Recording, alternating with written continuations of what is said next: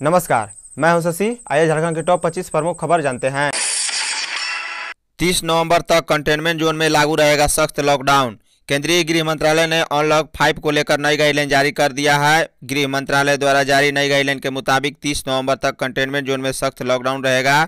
मंगलवार को गृह मंत्रालय ने नई गाइडलाइन जारी की। मंत्रालय ने अपने आदेश में कहा कि 30 सितंबर को जो गाइडलाइन जारी की गई थी, वो 30 नवंबर तक जारी रहेगी।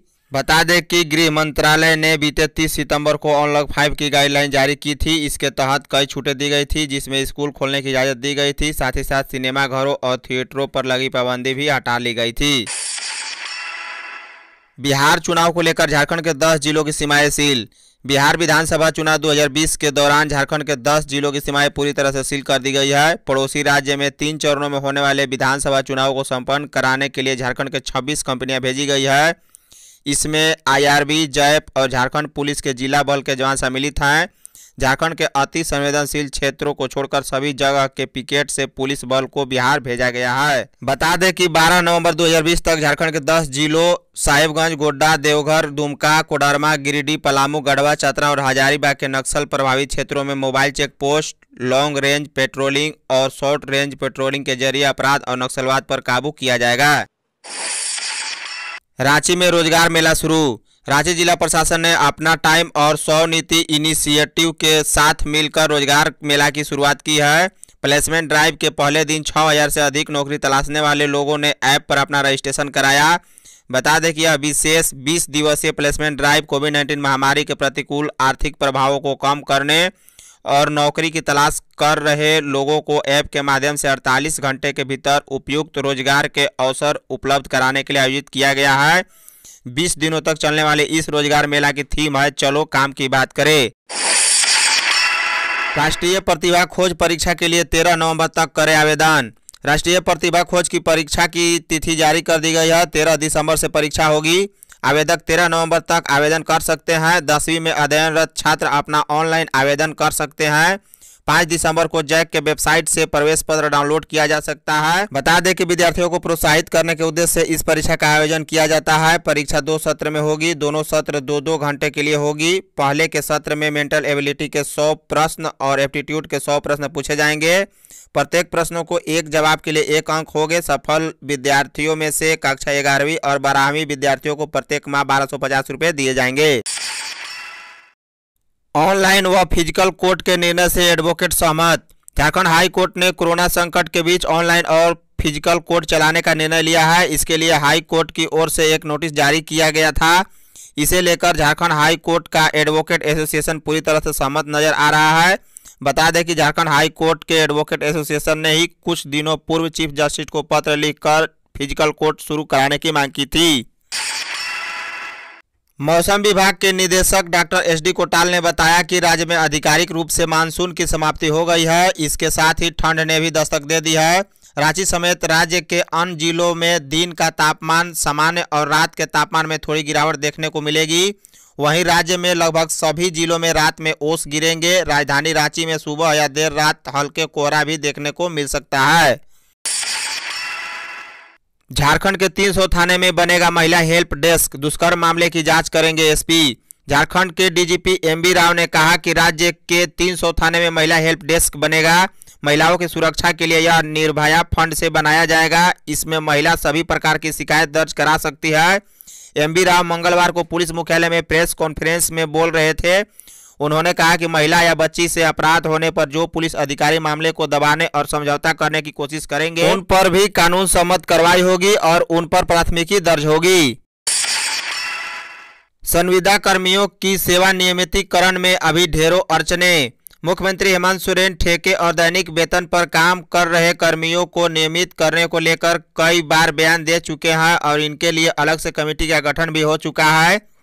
लेकिन अभी भी इसमें ढेरों अड़चने हैं।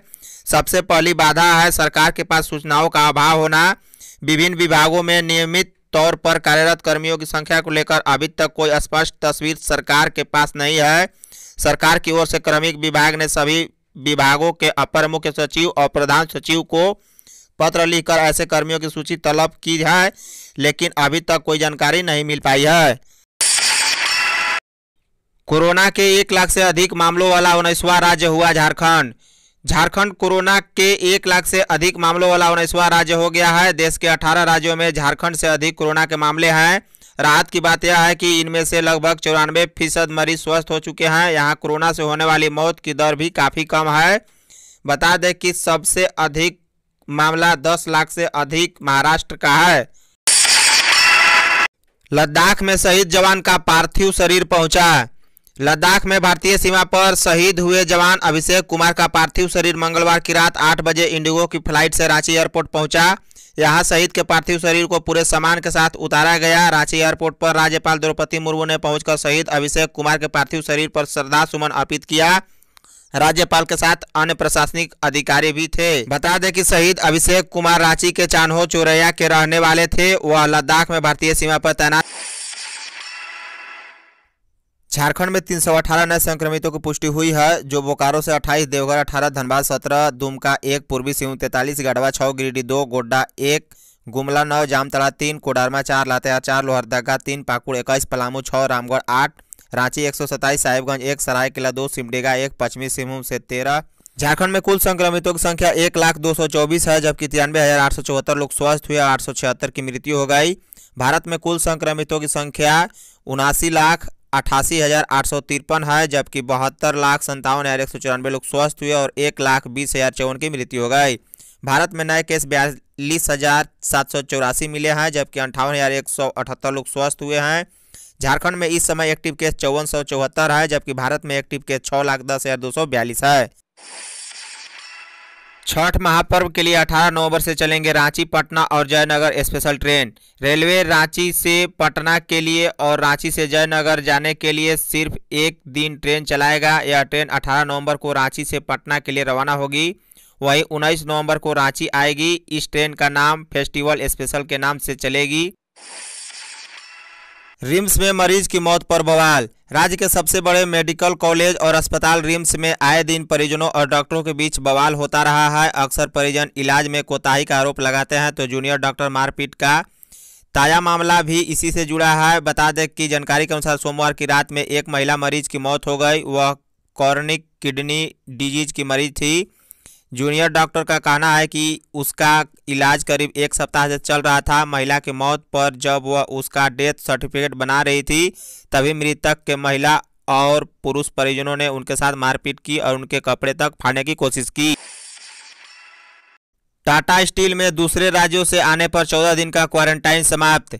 कोविड 19 को लेकर राज्य सरकार की ओर से नियमों में दी गई छूट के बाद टाटा स्टील ने भी सर्कुलर जारी करते हुए अपने कर्मचारियों के नियम में बदलाव किए हैं। इसको लेकर शनिवार को इंटरनल सर्कुलर जारी कर इसकी जानकारी कर्मचारियों को दी गई। पूर्व नियम के तहत दूसरे राज्य से आने वाले कर्मचारियों को कोविड जाँच के बाद 14 दिन क्वारंटाइन अनिवार्य किया गया था। यह नियम 14 दिन क्वारंटाइन को हटा लिया गया है।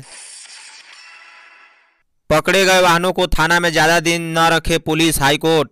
Jharkhand high court ने एक मामले में सुनवाई करते हुए आदेश दिया है कि पुलिस द्वारा पकड़े गए वाहनों को ज़्यादा दिन तक थाने में नहीं रखना चाहिए, क्योंकि इसमें आम आदमी का पैसा लगा होता है।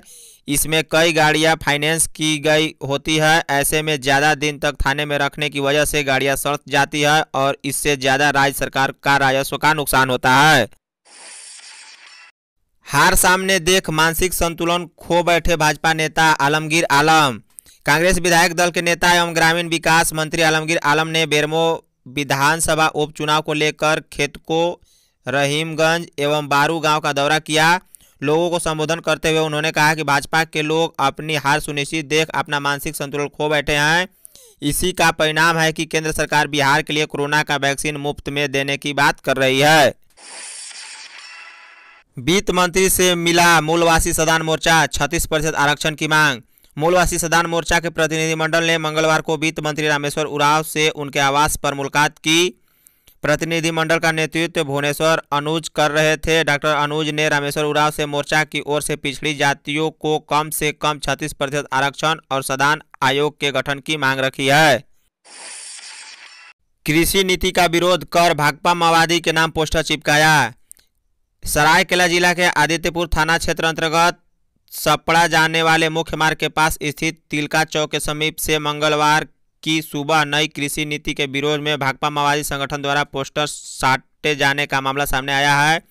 ग्रामीणों द्वारा इसकी सूचना दिए जाने के बाद उक्त स्थल पर पहुँची आदित्यपुर पुलिस द्वारा पोस्टर को फाड़कर हटा दिया गया है। आर्ट ऑफ़ लिविंग के सहयोग से जनजाति वर्गों के कल्याण के लिए दो सेंटर ऑफ़ एक्सीलेंस की शुरुआत। जनजातीय मामलों के केंद्रीय मंत्री अर्जुन मुंडा ने मंगलवार को आर्ट ऑफ़ लिविंग के सहयोग से जनजातीय वर्गों के कल्याण के लिए दो सेंटर ऑफ़ एक्सीलेंस की शुरुआत की है। मौके पर आर्ट ऑफ़ लिविंग के संस्थापक गुरुदेव श्री श्री रविशंकर भी उपस्थित थे। धनबाद में उपलब्ध होगा वाहनों के लिए सीएनजी ईंधन। धनबाद में नवंबर के अंत तक वाहनों के लिए सीएनजी ईंधन उपलब्ध होगा। इस संबंध में गेल गैस लिमिटेड के डीजीएम तपन पलाई ने बताया कि धनबाद बोकारो रोड के पुटकी में नवंबर के अंत तक सीएनजी वितरण सुविधा शुरू हो जाएगी। सरकारी नियमों का हवाला देकर लोगों को लूट रहे बस संचालक। राज्य सरकार ने नवंबर पहले सप्ताह तक अंतर्राज्यीय बसों के परिचालन पर रोक लगा रखी है। परिवहन विभाग की ओर से जारी निर्देश में स्पष्ट हिदायत दी गई है कि कोई भी बस संचालक राज्य से बाहर अपनी बसों नहीं चला सकते। इसके बाद भी सरकार के आदेश को धता बताकर रोज सैकड़ों बसें सीमाओं को लांग कर बिहार जा रहे हैं। इसकी खबर न सरकार को है, न प्रशासन को। इन बसों में न सोशल डिस्टेंसिंग का पालन किया जा रहा है, न ही यात्रियों को मास्क पहनने की हिदायत दी जा रही है। वहीं औसतन साढ़े तीन सौ से पाँच सौ रुपये की किराया की जगह यात्रियों से एक हज़ार से तेरह सौ रुपये वसूले जा रहे हैं।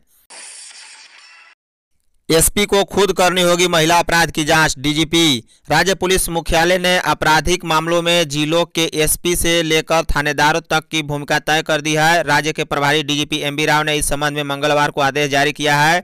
आदेश के मुताबिक महिला व बच्चियों की संदेहास्पद मौत के मामले में ज़िले के एसपी को घटनास्थल पर जाकर खुद जाँच करनी होगी। डीजीपी एमबी राव ने मंगलवार को पत्रकारों को बताया कि एसपी ऐसे मामलों में न केवल खुद घटनास्थल पर जाएँगे, बल्कि इसके बाद केस का सुपरविजन भी उन्हें ही करना होगा। आरक्षण का फैसला शीघ्र लागू करे सरकार, राजेश गुप्ता। राष्ट्रीय ओबीसी मोर्चा के प्रदेश अध्यक्ष राजेश कुमार गुप्ता ने झारखंड सरकार से ओबीसी समुदाय को 27 प्रतिशत आरक्षण देने की घोषणा को राज्य में शीघ्र लागू करने की मांग की है। उन्होंने कहा कि लंबे समय से चली आ रही मांग के बाद भी अभी तक ओबीसी समुदाय को न्याय नहीं मिला है। सरकार को अस्थिर करने की साजिश में भाजपा, रामेश्वर उरांव। झारखंड कांग्रेस के प्रदेश अध्यक्ष सह वित्त व खाद्य आपूर्ति मंत्री डॉक्टर रामेश्वर उरांव ने कहा कि बेरमो व दुमका उपचुनाव के परिणाम से सरकार की सेहत पर कोई असर पड़ने नहीं जा रहा है।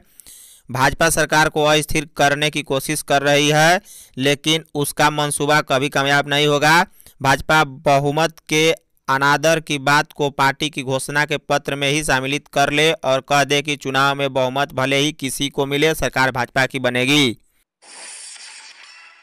मुख्यमंत्री हेमंत सोरेन का बयान, दुर्भाग्यपूर्ण। मेयर, रांची नगर निगम की मेयर आशा लाकड़ा ने मुख्यमंत्री हेमंत सोरेन के उस बयान को दुर्भाग्यपूर्ण बताया है, जिसमें उन्होंने कहा है कि कोरोना के कारण राज्य में दुष्कर्म से संबंधित मामलों में वृद्धि हुई है। राज्य की महिलाओं के प्रति उनकी सोच अच्छी नहीं है, वे राज्य के मुखिया हैं। लकड़ा ने मंगलवार को कहा कि महिलाओं की सुरक्षा, माँ बेटी की इज़्ज़त व सम्मान करना उनका नैतिक कर्तव्य है। जिस राज्य में पुलिस पदाधिकारी महिलाओं को तमाचा मार रहे हैं, उनसे सुरक्षा की उम्मीद कैसे की जा सकती है? धन्यवाद। यदि आप चैनल पर नए हो तो चैनल को सब्सक्राइब कर बॉल का बेल आइकन दबाइए, साथ ही साथ वीडियो को एक लाइक और अपने दोस्तों के व्हाट्सएप, फेसबुक पर शेयर अवश्य करें। साथ ही साथ आप हमें कमेंट सेक्शन में अपना फीडबैक अवश्य दें। Thank you.